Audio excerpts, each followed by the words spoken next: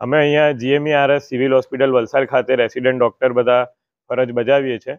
Normally ચોવીસ કલાક સાતેવ દિવસ ત્રણસો દિવસ રેસિડેન્ટ ડૉક્ટર ચોવીસ કલાક ફરજ બજાવતા હોય છે. એક મુદ્દો તો એ છે કે જેમને બધાને જ જે સ્ટાઇપન્ડ છે ચોર્યાસી હજારથી ઘણાને પંદરસો રૂપિયા મહિને માસિક સ્ટાઇપન્ડ આવે એવી હાલત અહીંયા ડૉક્ટરોની થઈ ગયેલ છે. આ સાથે અમારી ફી જોડે જે અમે ઓલરેડી હોસ્ટેલનું વાર્ષિક વેતન ભરેલું હોય તેની ઉપરાંત અમારી જોડે દર મહિને ડબલ ફીસ વસૂલવામાં આવે છે. જેના બાબતે એમ અમે ઘણીવાર રજૂઆત કરી છે, પણ આજ દિન સુધી કોઈ નિરાકરણ આવેલ નથી. અમારા જે સિનિયર છે, જે અમારાથી એક બે વર્ષ અમારા સિનિયર ડૉક્ટર્સ છે, એ લોકોનું જીએસટી જે કપાત થયેલું હતું આજથી બે વર્ષ પહેલાં, એ બી કેન્દ્રીય સરકાર દ્વારા આજથી ઘણા સમય પહેલાં રિફંડ આવી ગયેલ છે, જે હજુ સુધી કોલેજ પ્રશાસન દ્વારા પાછું હજુ સુધી ચૂકવવામાં આજ દિન સુધી આવેલ નથી.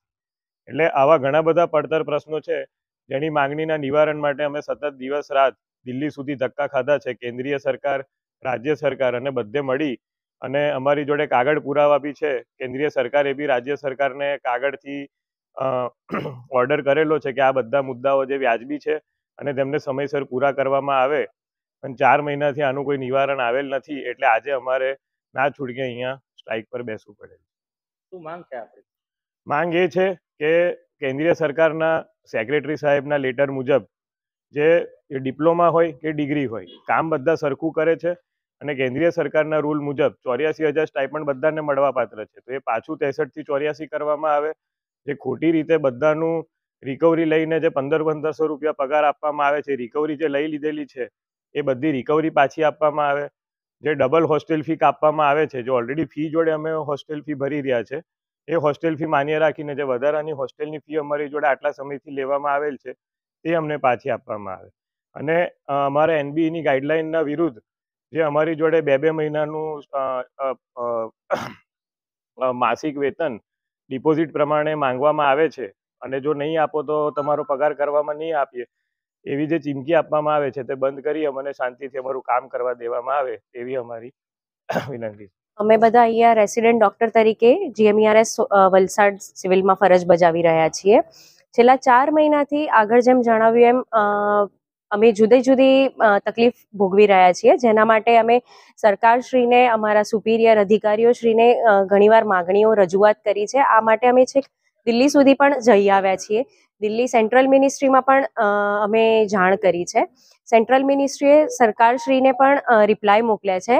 કે આ બાળકોના જે, મતલબ જે સ્ટુડન્ટ્સ છે, એમના જે અધિકારો છે, એમના જે નિયમો છે એ પ્રમાણેના તમે જે એમના પ્રશ્નો છે એના નિકાલ લાવો અને એમને જે યોગ્ય વેતન ચૂકવવામાં આવે એ ચૂકવવામાં આવે.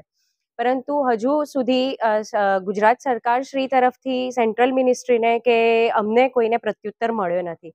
આ ઉપરાંત જ્યારે પણ અમને જાણ કરવામાં આવી અચાનક કે આવી રીતની અમારો જે સ્ટાઇપન્ડ છે એનો ઘટાડો થાય અને જે અમારા સિનિયર છે ફર્સ્ટ બેચ છે સેકન્ડ બેચ છે, એમની જે ઓલરેડી ચોર્યાસી હજાર મળતા હતા, એની રિકવરી વસૂલવામાં આવે, એ માટેનો કોઈ ઓફિશિયલ લેટર પણ અમને મળ્યો નથી. અમને એટલું જ જાણ કરવામાં આવી કે ટેલિફોનિક સૂચના દ્વારા આ ઓર્ડર બહાર પડેલ છે.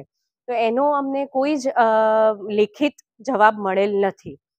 આ ઉપરાંત બીજા રાજ્યના સ્ટુડન્ટ કે જે ગુજરાતનું ઇન્ફ્રાસ્ટ્રક્ચર જોઈને ગુજરાતની હેલ્થ સિસ્ટમ જોઈને પોતાના સ્ટેટ છોડીને કે જે હજાર હજાર, બે બે હજાર કિલોમીટર દૂરથી પોતાના પરિવારથી દૂર અહીંયા આવતા હોય છે, કે જ્યાં આપણે એમને આવી રીતની અધવચ્ચે in the middle of residency આવા નિયમોથી એમને ફાઇનાન્શિયલ સ્ટ્રેસ પડે, કે એમને જે પરિવાર એમના ઉપર નિર્ધારિત હોય, એમના બાળકો ઘણા અમારા સિનિયર એવા છે કે જે ફેમિલીવાળા છે, કે બાળકો છે, પતિ છે, પત્ની છે, કે જે એમના ઉપર આધારિત છે, એ બધાનું જીવન નિર્વાહ અત્યારે ખોરવાઈ રહ્યો છે કે એક સરકારના એકમાત્ર નિર્ણયથી કે જેનું અમને ઓફિશિયલ કોઈ લેટર પણ મળેલ નથી. તો અમે સરકારશ્રીને માગણી કરી રહ્યા છીએ કે વહેલી તકે આ વસ્તુનું નિવારણ લાવવામાં આવે. ચાર મહિનાથી અમે આ વસ્તુ, આ માનસિક સંઘર્ષ વચ્ચે જીવી રહ્યા છીએ. હવે ન છૂટકે આ સંઘર્ષને થી થાકીને અમે આજે આ સ્ટ્રાઇક પર બેઠા છીએ કે જે અમારા, અમે ખુદ ઈચ્છતા નથી કે અમારા લીધે અમારા સિનિયર ડિપાર્ટમેન્ટ હોય કે અમારા સર હોય એ લોકો સફર કરે. છતાં આ સ્ટ્રાઇક પર મજબૂરીથી અમારે બેસવાની જરૂર પડી છે. તો સરકારશ્રીને નમ્ર વિનંતી છે કે વહેલી તકે આ વસ્તુનું નિરાકરણ લાવવામાં આવે અને અમારા જે હક છે અમને આપવામાં આવે.